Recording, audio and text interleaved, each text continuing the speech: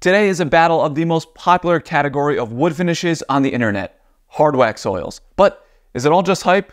I promise this video is going to completely change your perspective. We're going to be comparing costs, durability, safety, appearance, and at the end, we will award a winner. So, why are hard wax oils so popular on the internet? There's a theory that permeates in the comments section about big brands like Rubio Monocoat sponsoring woodworkers to use their products, hence why they are showcased so often. But I'm here to give the skeptics a nice healthy drink of Lincoln Street Honest Tea, because that's not true at all. The claim to fame for these finishes is ease of use. You see, the oil portion penetrates the surface and bonds with the wood fibers. And then once it all dries, the wax creates a nice smooth finish that offers a reasonable amount of protection. It's as simple as buffing the product in and then buffing it off. There is no spraying, generally very minimal to zero VOCs, so they say, more on that later. Plus, they dry fast. Now, it's not ideal, but you could theoretically handle and finish assembling a project the same day you buffed off your last coat. And if that's not enough, it's essentially idiot proof, and you can get a perfect finish in a dusty garage every time, unlike traditional finishes like poly and lacquer. And when you're filming a video or you're a weekend warrior, it's all about the path of least resistance, which is why most roads lead back to hard wax oils. I've learned over the years it is very rare to have a finish that looks equally good on light and dark colored species. And products that create a lot of contrast and bring a darker color wood like walnut to life tend to significantly amber the lighter color woods, in some cases making them appear yellow. Now, appearances can be subjective. You might prefer that your maple is disguised as a lemon, and someone else wants it to look more natural. So with that being said, this is how I would summarize the look of each finish, starting with the lighter colored maple.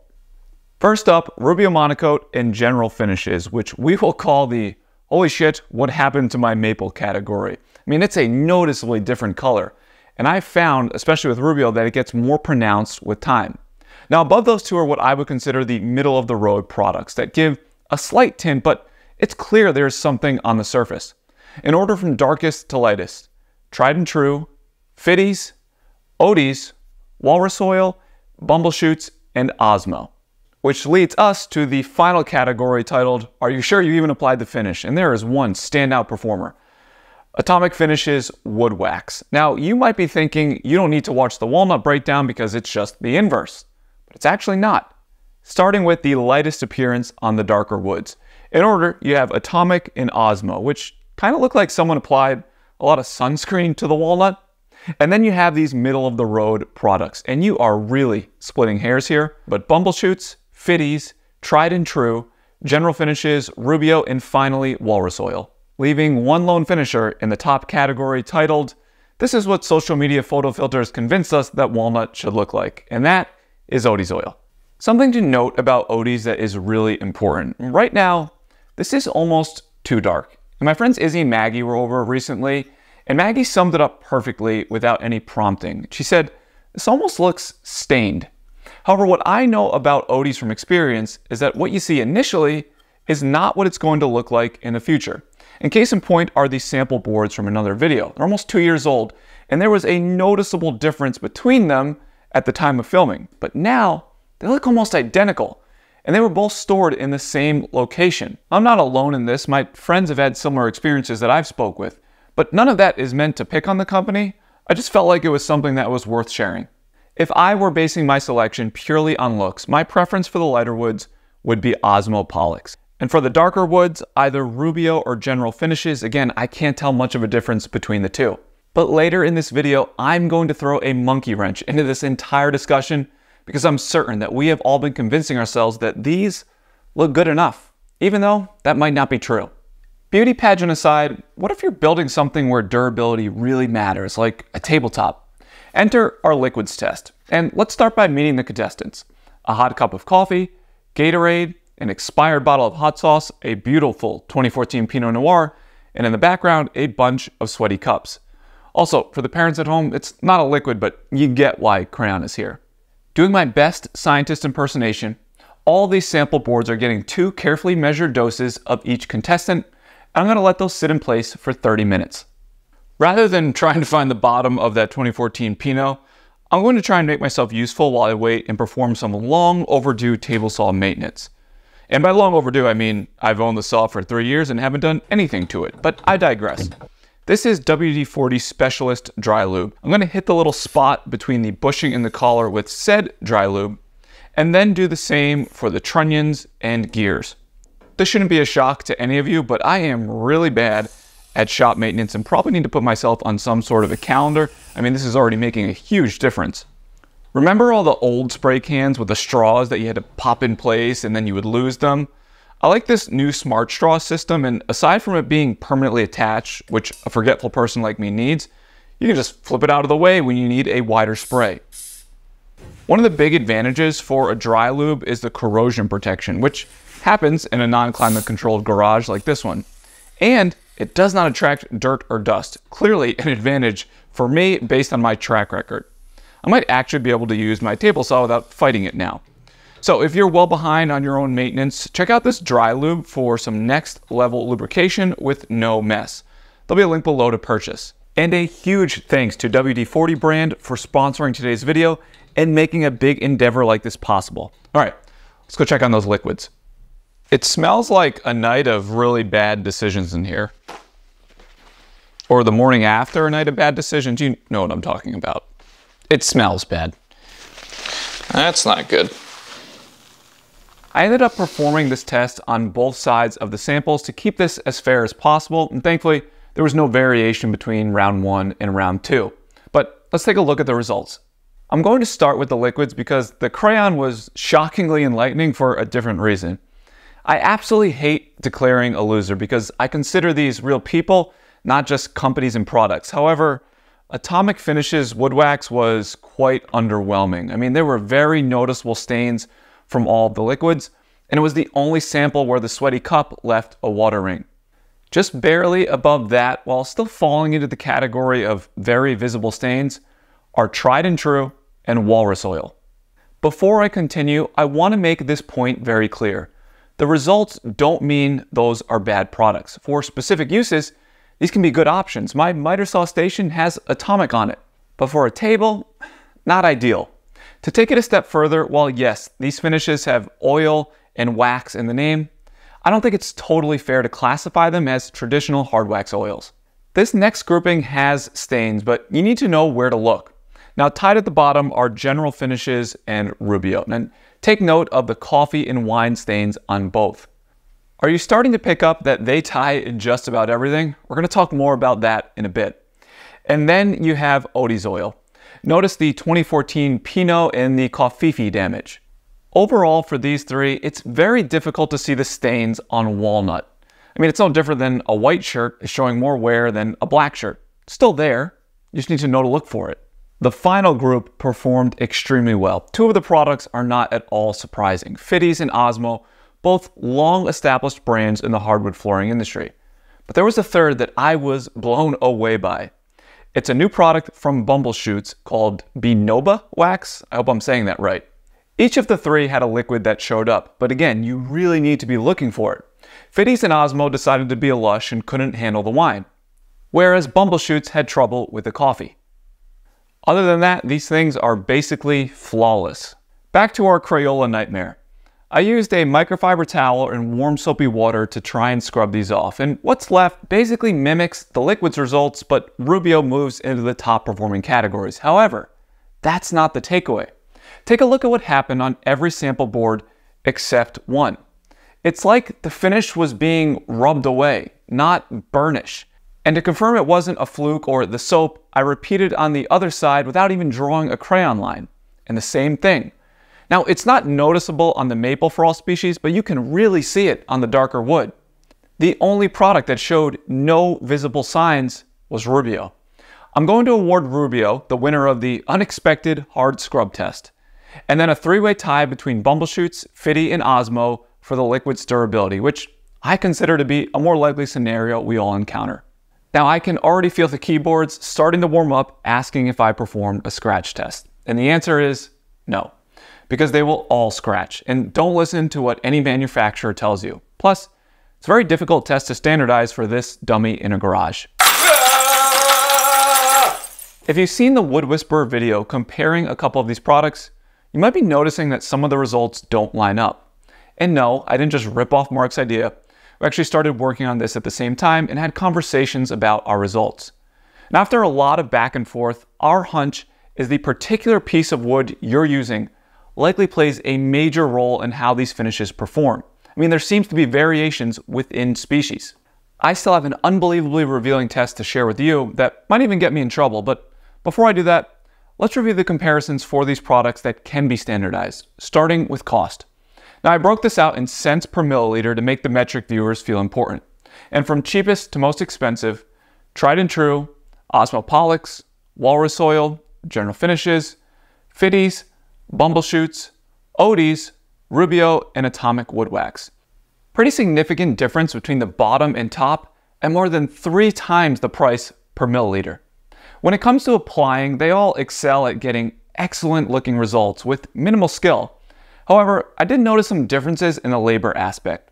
Tried and True requires a very specific wiping procedure, and I could see where it would be a bit of a pain on larger items. Atomic, Odie's, Bumblechutes, and Walrus Oil require a decent amount of physical exertion because they need to be buffed in. But if you have an old sander, you can use that with a Scotch-Brite pad instead of your own shoulder and back muscles.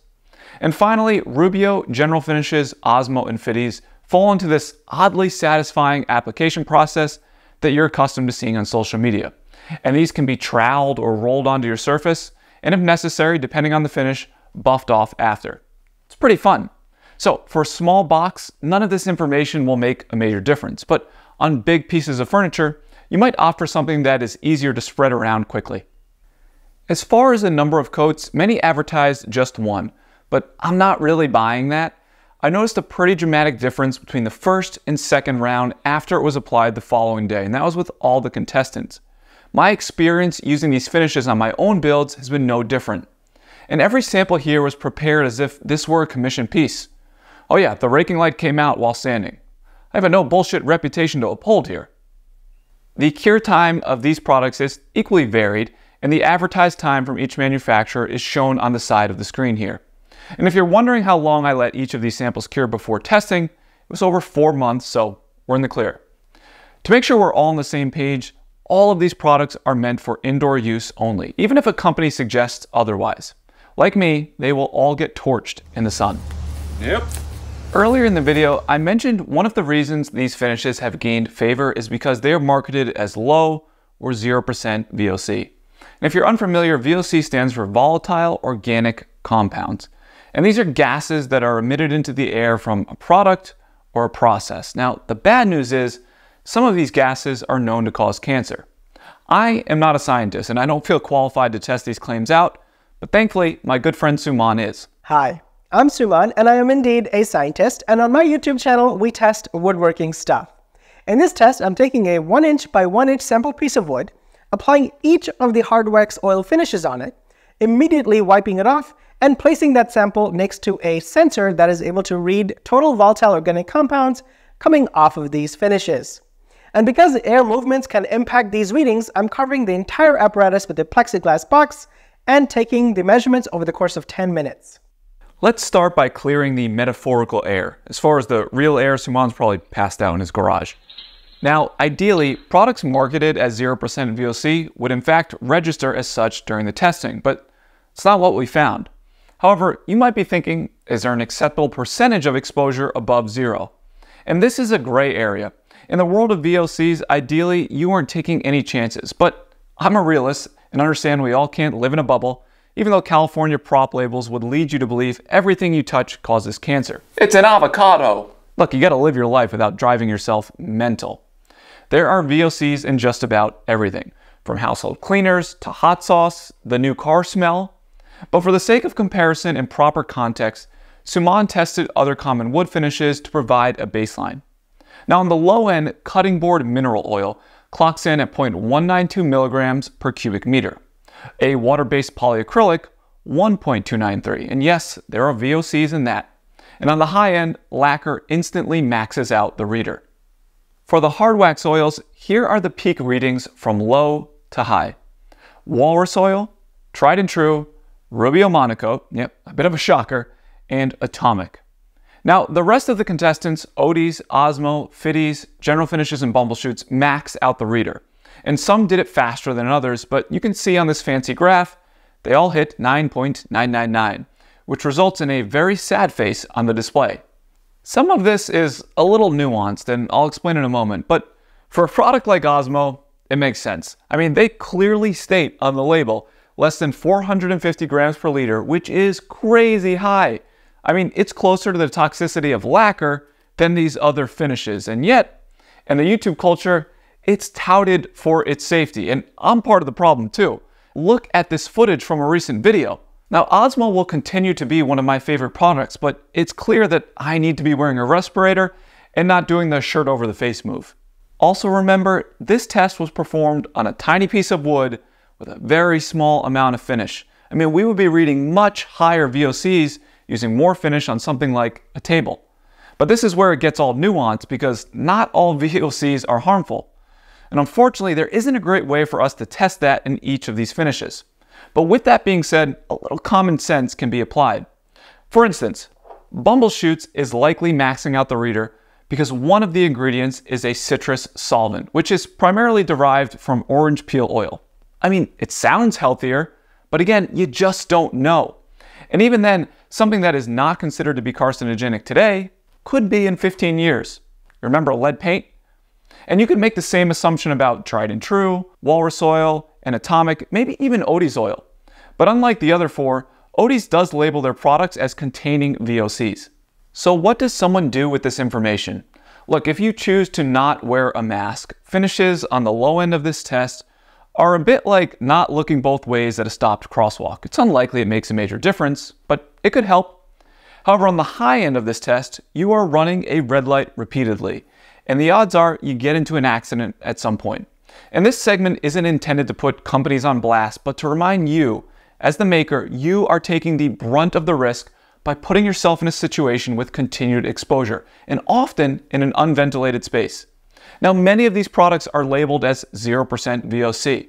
However, it's clear that's not entirely true. And it's best to not take their marketing pitches and legal jargon gymnastics at face value when it comes to your own health. So, when in doubt, put on a proper respirator.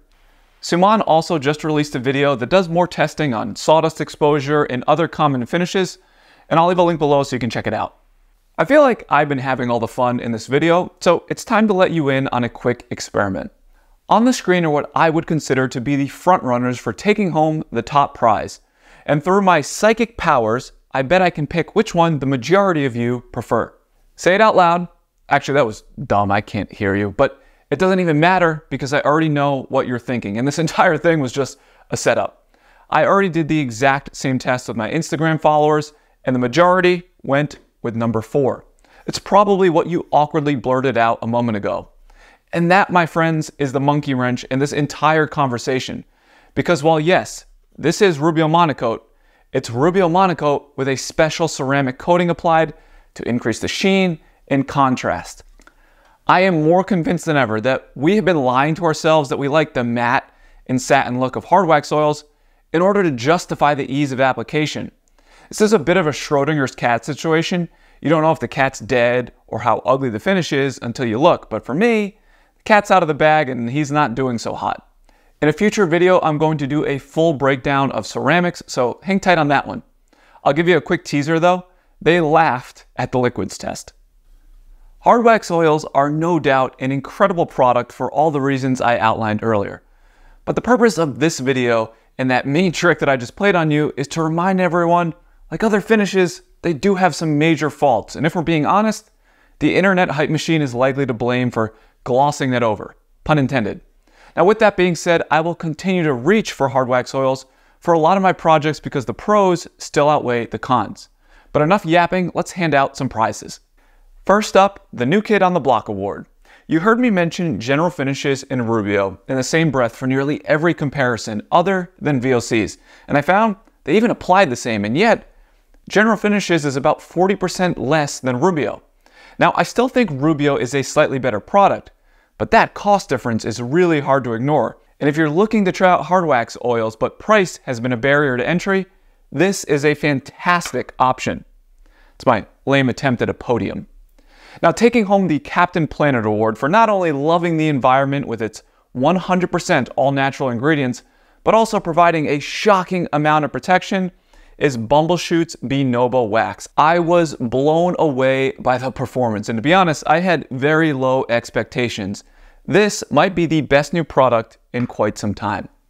The overall winner for hard wax oils, which I don't have a stupid award name for, goes to an unexpected participant. Now, other than smelling horrible, which shouldn't matter because you're going to be wearing a respirator, this product applies super easy, it looks good, it's reasonably priced, and is one of the most durable. Now, overall, Fiddies is an incredible value. I would encourage you to experiment on your own, find out what works in your own shop. But as Miss Clavel likes to say, it's all there is. There isn't any more. We'll see ya.